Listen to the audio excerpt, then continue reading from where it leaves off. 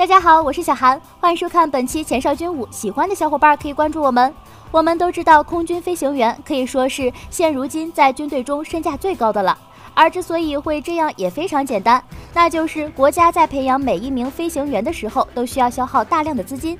根据专家的说法，培养一名优秀的飞行员所需要的花费，甚至于跟这名飞行员等重的黄金差不多。由此也可以看出，飞行员的培养是多么的困难。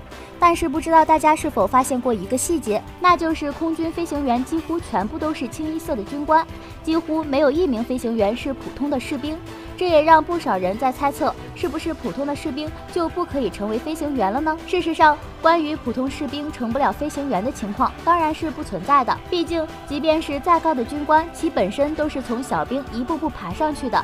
而在空军的飞行员序列中，之所以很少会出现普通的士兵，其原因也非常简单，那就是飞行员的培养周期是比较漫长的，而一般的普通飞行员，其服役的周期只有短短的两三年。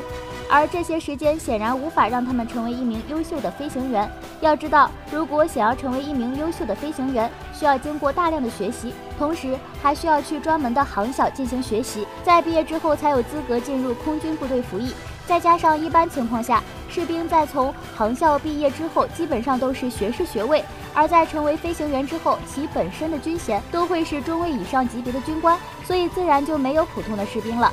当然了，如果非要当士兵，也并不是不允许。但是飞行员又不是傻子，自然不可能放着好好的中尉军衔不要，非要做一名普通的士兵。要知道，两者之间除了等级上的巨大差异之外，在薪资待遇方面同样有着不小的差异，自然不可能放弃。也正是因为如此，才使得目前世界各国的空军飞行员几乎都是军官。本期节目就到这里了，我们下期再见。